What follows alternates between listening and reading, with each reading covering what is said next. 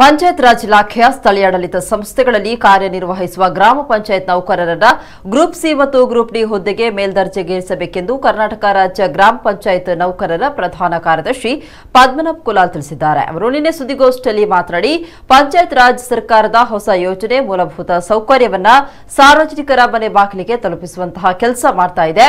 ಆದರೆ ಪ್ರಾಮಾಣಿಕವಾಗಿ ಕೆಲಸ ಮಾಡುತ್ತಿರುವ ಪಂಚಾಯತ್ ನೌಕರರನ್ನ ವಂಚಿತರನ್ನಾಗಿ ಮಾಡ್ತಾ ಇದೆ. ಹಾಗಾಗಿ ಪಂಚಾಯತ್ನಲ್ಲಿ ಕಾರ್ಯನಿರ್ವಹಿಸುವ ಗುಮಾಸ್ತರು, ಡಾಟಾ ಎಂಟ್ರಿ ಆಪರೇಟರ್, ಜವಾನರು ಹಾಗೂ ಇನ್ನಿತರನ್ನ ಗ್ರೂಪ್ ಸಿ ಮತ್ತು ಡಿ ಹುದ್ದೆಗೆ ಸೇರಿಸಬೇಕೆಂದು ಆಗ್ರಹಿಸಿದರು.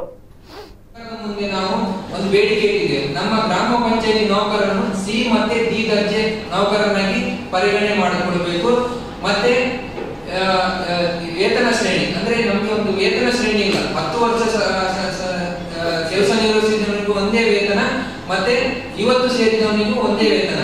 ಅದೇ ಸರ್ವಿಸ್ ಬೇಸ್ ವೇತನ ಶ್ರೇಣಿ ಒಂದು ನಿಗದಿಪಡಿಸಬೇಕಂತ ಒಂದು ಬೇಡಿಕೆ ಇದೆ. ಮತ್ತೆ ಈಗಾಗಲೇ ಗ್ರಾಮ ಪಂಚಾಯತ್ ಕಚೇರಿಯಲ್ಲಿ ಡಾಟಾ ಎಂಟ್ರಿ ಆಪರೇಟರ್ಗಳು ಕಾರ್ಯನಿರ್ವಹಿಸಿದ್ದಾರೆ ಸೊ ಅವರಿಗೆ ಈಗಾಗಲೇ ಹೊಸದಾಗಿ ಸರ್ಕಾರದಿಂದ ಒಂದು ಸೃಜನೆ ಆಗಿದೆ ಡಾಟಾ ಎಂಟ್ರಿ ಆ ಹುದ್ದೆಯನ್ನು ಈಗಿರುವ ಕಾರ್ಯ ಕಾರ್ಯನಿರ್ವಹಿಸುತ್ತಿರುವ ಸಿಬ್ಬಂದಿ ಒದಗಿಸಬೇಕು. ಮತ್ತೆ ಸರ್ಕಾರ ಒಂದು ತಿದ್ದುಪಡಿ ಮಾಡಿದೆ.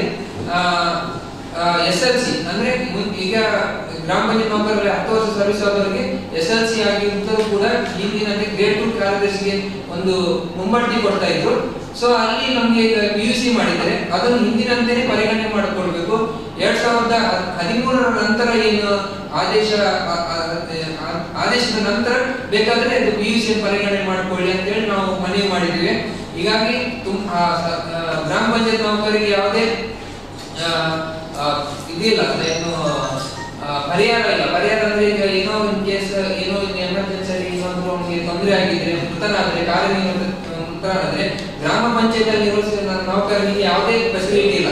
ಅದಕ್ಕಾಗಿ ನಾವು ಒಂದು ಮನೆ ಮಾಡಿದ್ರೆ ಒಂದು ಏನು ಕಾರ್ಯನಿರ್ವಹಿಸುವಾಗ ಏನಾದ್ರು ಮೃತರಾದ್ರೆ, ಅವರ ಪರಿಹಾರ, ಕುಟುಂಬಕ್ಕೆ ಒಂದು ಹತ್ತು ಲಕ್ಷವರೆಗೆ ಪರಿಹಾರವನ್ನು ಒದಗಿಸಬೇಕಂತೇಳಿ ನಾವು ಮನೆ ಮಾಡಿದ್ದೇವೆ. ಸೊ ಸರ್ಕಾರ ಈ ಮಟ್ಟದಲ್ಲಿ ಸಕಾರಾತ್ಮಕವಾಗಿ ಸ್ಪಂದಿಸಿದಂಗೆ ಮಾಡ್ತಾ ಇದೆ. ಹಿರಿಯ ಅಧಿಕಾರಿಗಳು ಕೂಡ ನಮಗೆ ಸ್ಪಂದನೆ ತುಂಬಾ, ಸ್ಪಂದನೆ ನೀಡ್ತಾರೆ. ಆ ಉದ್ದೇಶಕ್ಕಾಗಿ ನಾವು ಈ ಸಮಾವೇಶವನ್ನು ಆಯೋಜನೆ ಮಾಡಿದ್ದೇವೆ.